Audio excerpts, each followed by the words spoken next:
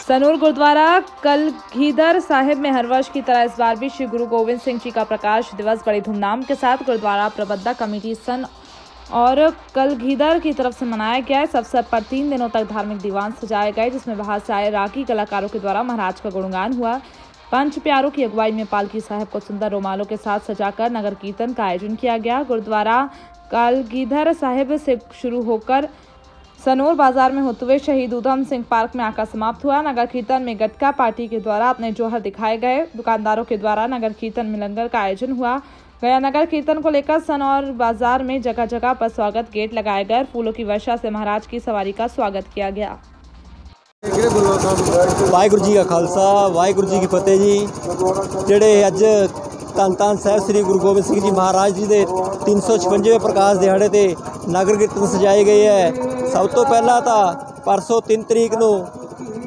ਗੁਰਦੁਆਰਾ ਕਲਗੀਧਰ ਸਾਹਿਬ ਵਿਖੇ ਜੋ ਖੰਡ ਪਾਠ ਸਾਹਿਬ ਆਰੰਭ ਹੋਏ, ਜਿਹੜੇ ਖੰਡ ਸਾਹਿਬ ਆਰੰਭ ਹੋਏ ਸੀਗੇ, ਉਹਨਾਂ ਦੇ ਅੱਜ ਸਵੇਰੇ ਭੋਗ ਪਾਏ ਗਏ। ਭੋਗ ਉਪਰੰਤ